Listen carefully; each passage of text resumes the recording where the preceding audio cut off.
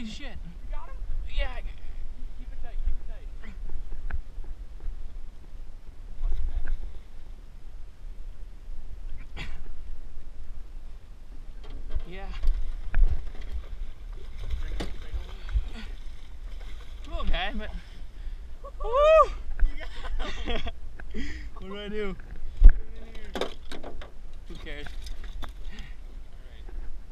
I let the line out. I was caught on a weed. I yanked it out of the weed, and then all of a sudden he hit. Poor guy. Broken teeth off. you See? What do you want me to do? Can you hold him at all or not? You're not. Grab his body and just, you know. Nah, he's not hooked that good. And hold him up or what? Put one hand under